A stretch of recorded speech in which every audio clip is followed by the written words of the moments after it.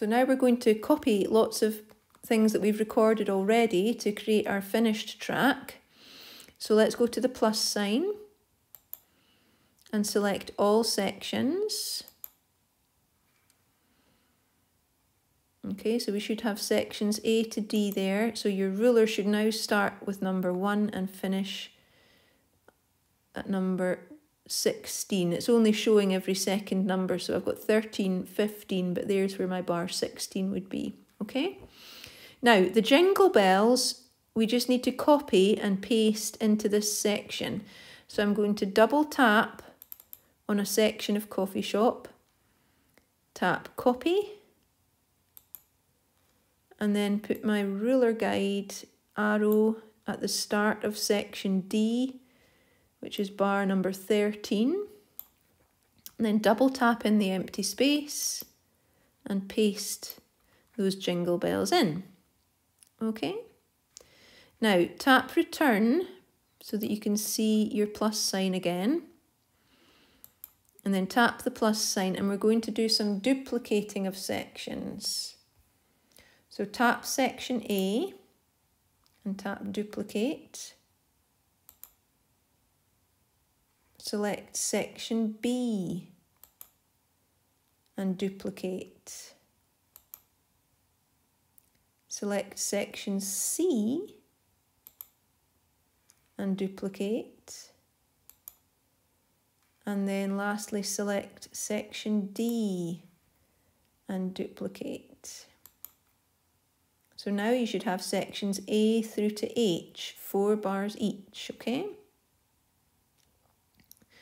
So we're going to select section H, so make sure your H is grey, and then tap to come out of that menu.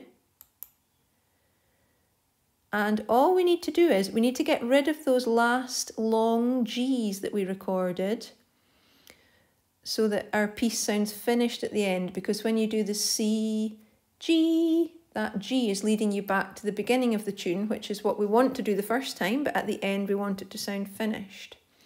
So we are going to edit these notes. So you're going to double tap on the top piano track and on this menu here you're going to select edit. Okay, and now you're seeing a close-up view of all these chords. Now this last stack at the end here, this is our G chord that we want to remove.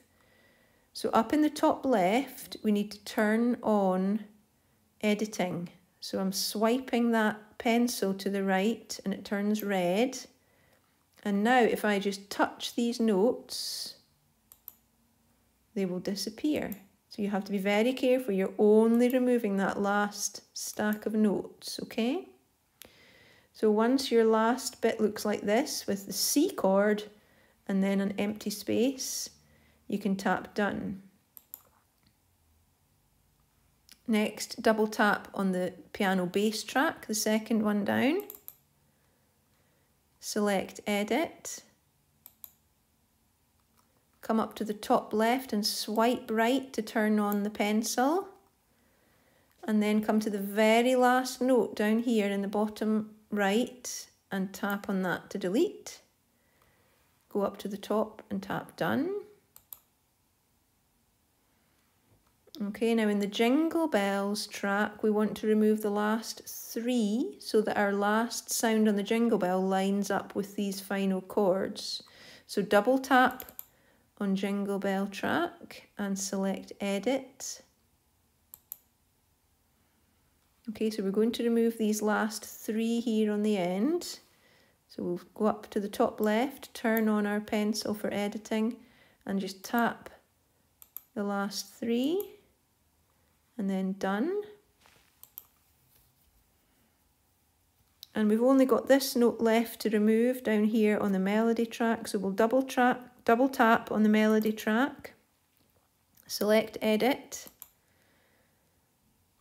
Now, we can't see these notes immediately because they're quite high pitched. So we need to scroll until we find those high pitched notes. And there's our last note that we want to get rid of.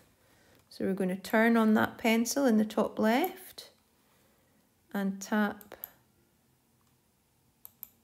to delete that note there, okay? Then tap done in the top right.